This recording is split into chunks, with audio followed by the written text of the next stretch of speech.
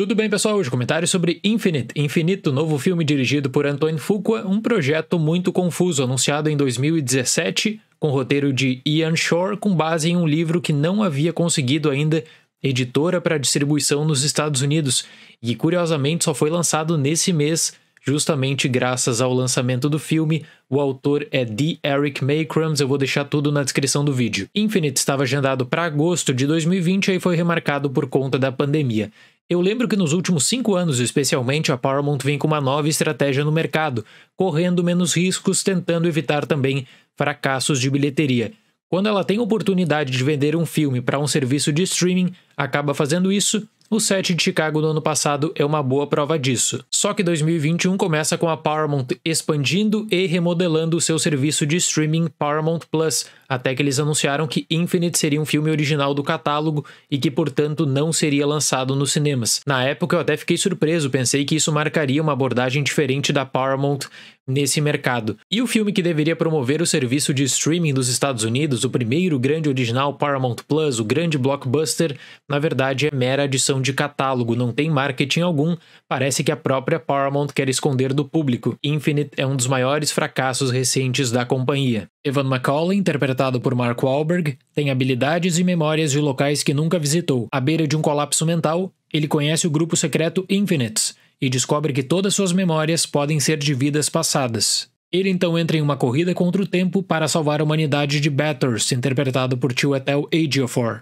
O longa começa com uma narração que foi adicionada na pós-produção, provavelmente levando em conta o feedback de uma sessão de teste para diminuir as dúvidas do público. Infinite tem como característica a ação que beira o absurdo sem levar em conta qualquer coerência, e a própria montagem acabou estraçalhando as cenas de ação que deveriam ser justamente o ponto alto dessa experiência. Inclusive, o mesmo comentário que eu fiz recentemente sobre Dupla Explosiva 2 se aplica muito bem aqui. Eu não tenho ideia se a pandemia acabou afetando diretamente essas duas produções, mas elas parecem incompletas. Em ambos os casos, nós temos cenas que não foram finalizadas e que têm cortes abruptos, talvez para poupar a pós-produção. O caso de Infinite, no entanto, é um pouco mais grave, porque os efeitos especiais desde os primeiros minutos são posicionados como fundamentais para essa imersão, para toda essa experiência. E eu confesso que a aplicação desses acabou me distanciando bastante. A sensação de adrenalina é nula, os cenários genéricos